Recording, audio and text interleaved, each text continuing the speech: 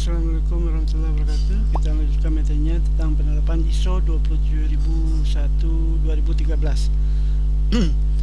uh, kita lihat yaitu struktur ISO uh, 27001-2013. Pertama itu uh, ada dia 10 klausa umumnya untuk semua ISO standar sistem manajemen mudah untuk diintegrasikan dengan beberapa standar manajemen mengurangi duplikasi dan memberikan efisiensi. Pertama itu ada scope kemudian normative reference uh, tiga terms and definition empat konteks the organization lima leadership enam planning tujuh support uh, lapan operation sembilan performance evaluation dan sepuluh improvement kita lihat uh, ini ya.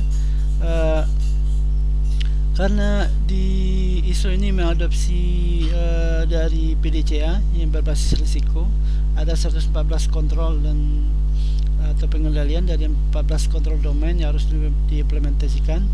Uh, komposisinya sekitar 40% untuk keamanan IT 20% untuk keamanan fisik 10% untuk continuity 30% untuk manajemen sistem hmm, telah diterapkan lebih dari 30 ribu bukan lebih ya untuk uh, survei 2019 eh. mungkin kalau do, sekarang sudah lebih banyak lagi. Nah kita lihat yang pertama itu uh, dari plan plannya dulu ya kan di PDCA plan do check X ya.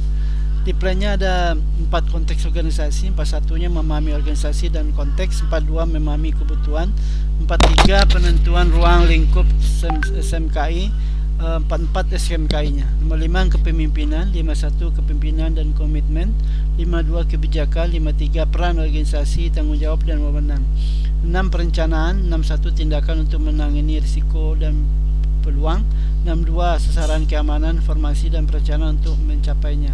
7 dukungan. 71 sumber daya. 72 kompetensi. Dan 73 kepedulian. Dan 74 uh, tentang komunikasi. Sedangkan dunya itu operasional uh, 81 perencanaan dan pengelolaan operasional. 82 penilaian risiko keamanan informasi. 83 itu penanganan risiko keamanan informasi Sedangkan di ceknya itu ada evaluasi kinerja 91 pemantauan pengukuran analisis evaluasi 92 audit internal 93 tinjauan manajemen.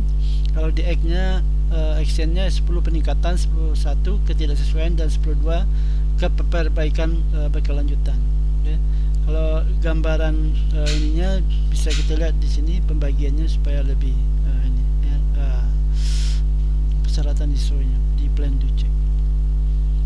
Ya kemudian uh, untuk lebih detailnya ya di, di, sini sudah di gambaran ini uh, sudah dibagi bahwa di plan misalkan perencanaan itu 61 62 ya uh, ada ke di kepemimpinan ya kemudian di empat konteks organisasi ini lebih didetailkan lagi untuk memahami mudah memahami bahwa uh, dalam uh, ISO 27001 ini di plan do check act-nya uh, semuanya di dilakukan ya untuk uh, bisa uh, dipelajari dan dipahami dengan baik dalam untuk untuk bisa diimplementasikannya untuk siklus PDCA-nya.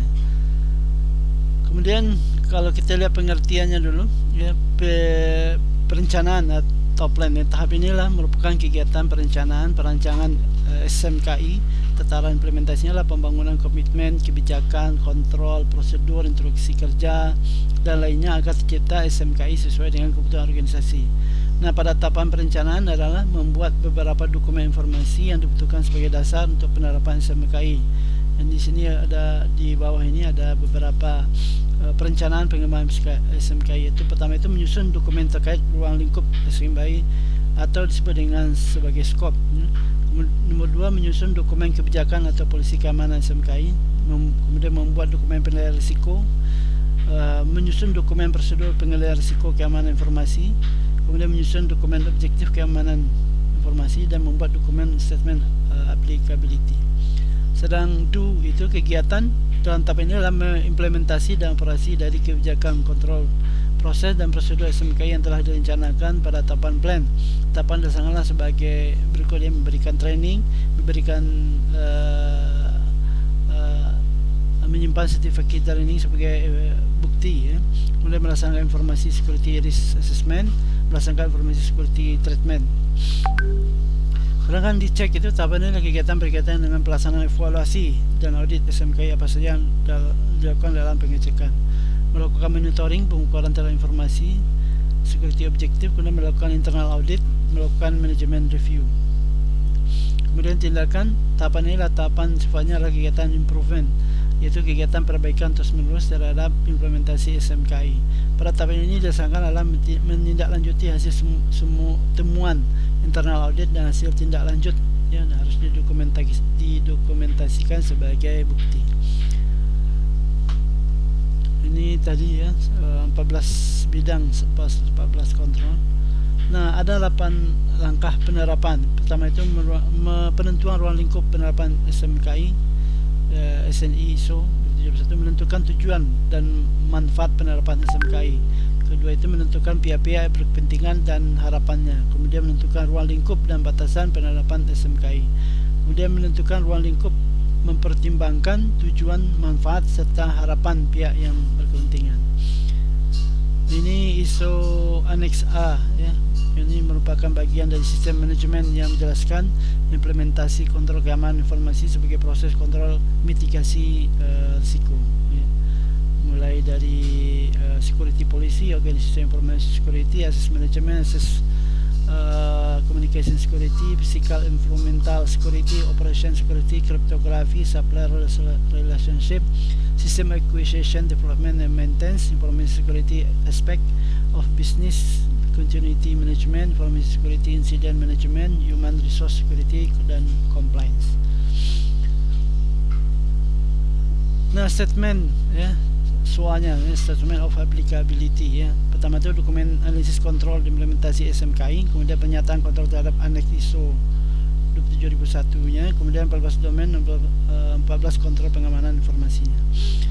Nah, latar belakang penerapan SMKI biasanya uh, kebutuhan perusahaan menyongsong era pasar bebas ya karena uh, sekarang sudah mulai ya orang perusahaan boleh masuk uh, ke sebuah negara dengan bebas begitu juga dengan tenaga kerja.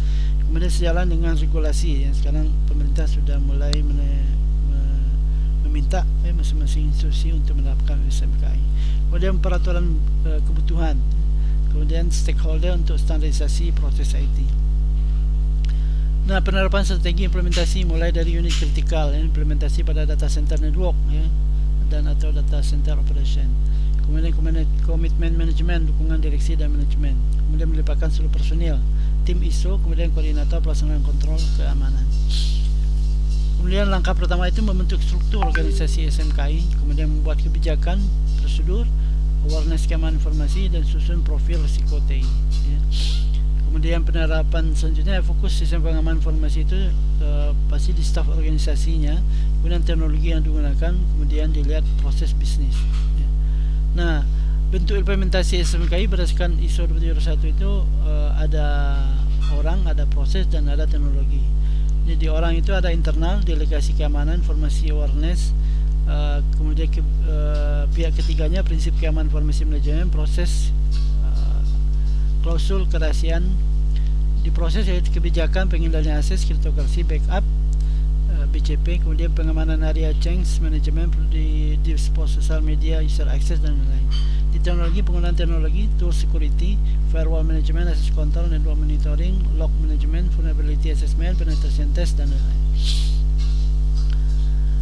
Nah, key success faktornya uh, manajemen support ya karena di dalam perusahaan itu harus harus benar-benar ya mulai dari direksi sampai ke bawah itu harus mensupport untuk mensukseskan uh, eh, SMKI. Komitmen seluruh personil, sosialisasi SMKI dan continuous improvement.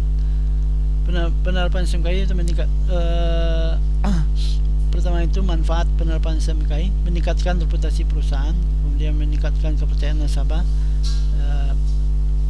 pengelolaan insiden yang lebih baik, peningkatan kualitas layanan, perbaikan respon time, perubahan proses reaktif menjadi proaktif, continuous improvement, kemudian mendukung proses bisnis.